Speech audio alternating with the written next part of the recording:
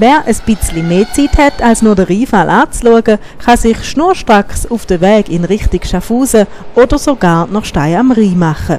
Mit dem Gefährt, wo ganz ohne lauten Motor und Benzin auskommt. Das Interesse ist eigentlich recht groß. Es braucht einfach manchmal ein bisschen Mut, dass man jetzt eins mietet und dann ist, dann ist Fahrspaß pur. Sagt die Frau, die ein Trivanti, das Elektrotrottinett, oberhalb vom Rheinfall herstellen lässt. Doch weit über ein Rheinfallbecken raus sollen Touristen und andere Interessierte mit dem Trottinett kommen. Ab 14 mit Töffli-Ausweis kann so ein Gefährt gemietet werden. Für ältere Personen oder für weitere Strecken wird auf Wunsch ein Sattel montiert. Also es gibt Möglichkeiten für Touristen da den Radius zu vergrößern.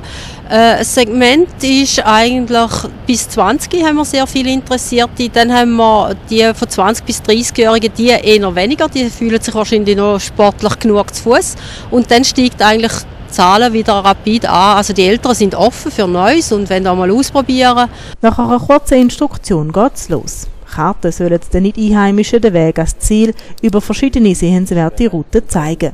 Mit einem oder zwei Akkus und einer Notfallnummer im Gepäck soll das Elektrotrottinett sogar Stein am Rhein erreichen können. Also Im Prinzip kommt man etwa 20 Kilometer geradeaus und äh, ja, es kann mal irgendetwas passieren, aber das Trivant ist so gebaut, dass eben ein, Elektro also ein Trottinett ist und dann kann man auch ohne Elektroantrieb fahren. Seit 2012 kommt das Elektrotrottinett Trivanti gleich wie ein normales Velo im Straßenverkehr ohne Nummern aus. Die Verkehrsregeln gelten ebenfalls die gleichen wie für ein Velo. Nur die Handhabung ist am Anfang für die einen noch ein bisschen gewöhnungsbedürftig. Also wir haben sehr viele indische Touristen da und die sind den Linksverkehr gewöhnt und die haben sich dann müssen umstellen, ein bisschen von der Bremse her. Wir haben dann das technisch gelöst, dass das keine Rolle mehr spielt. Äh, die Kinder sind sehr offen für Neues und sehr, sehr interessiert. Der Faktor Spaß und Erlebnis sollen beim Trivanti, wo auch auf der Internetseite von Schaffhauserland Tourismus beworben wird, im Vordergrund stehen. Ja, das Trivanti ist einfach ein grenzenloses Fahrgefühl. Es lässt sich ein bisschen vergleichen mit dem Carven vom, beim Skifahren. Es ist klein, es ist schön wendig und das kann man einfach vergleichen mit dem Kurzschwung, mit dem Carving-Ski.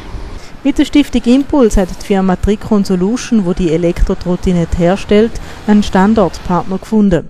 Bei der Velostation am Bahnhof in Schaffhausen können neue Trottinette gemietet oder nach der Fahrt vom Rheinfall her wieder abgegeben werden. Sie sind sehr speditiv, die sind, haben einen rechten Zug. Ich finde es Uhren gut. Es ist Ring zum Aufsteigen.